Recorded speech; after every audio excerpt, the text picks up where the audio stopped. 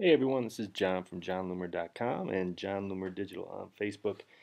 And uh, this is going to be a really quick one today in our continuing series of Facebook Timeline for Pages tutorials. Um, I don't even, I'm not even sure if this one came out, this option came out with the launch of Timeline or if I just stumbled upon it and it's been around for a while. But I think this is new. Um, for some time, I've, you know, I regularly get asked, how do I change the name of my Facebook page? And um, well, Facebook changes these rules often, it seems. Uh, my understanding is that you can't you can change your name up until you have 100 likes, and after that point, you're kind of stuck. I mean, I've, what I tend to do is direct people to Facebook to make your case, um, but I don't believe they they're usually successful. So, but what I just stumbled upon is this page.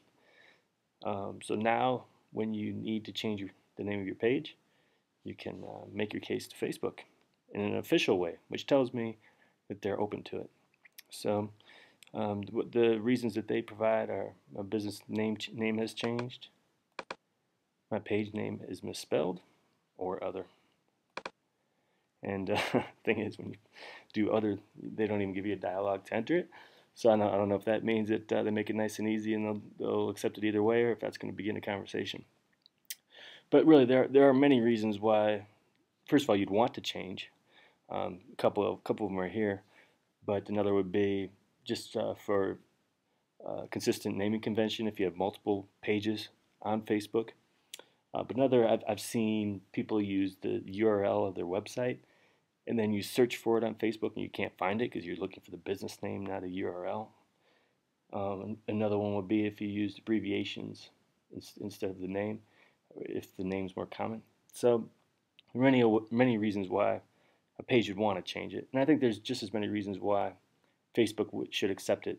I mean, they they want businesses to be successful on Facebook, and uh, if if there are obstacles like naming that gets in the way of getting fans and seeing the value of Facebook, that's one less brand that will use Facebook advertising, for example, um, and that's revenue Facebook needs. So that's this tutorial on how to change the name of your page or at least uh, request that, that name change from Facebook, you can get this link um, from my website, jonloomer.com. The link's below.